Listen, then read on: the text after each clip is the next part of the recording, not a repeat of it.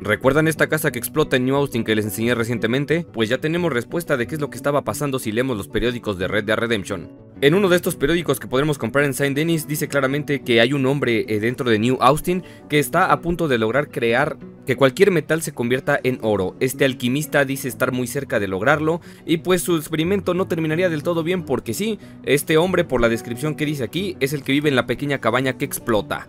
Los residentes del área fronteriza entre Chola Springs y Gampton Ridge en New Austin cuentan que hay un huraño alquimista llamado Anthony que vive en una pequeña cabaña que está a punto de perfeccionar la habilidad de cambiar cualquier metal común como el cobre o el estaño para convertirlo en oro.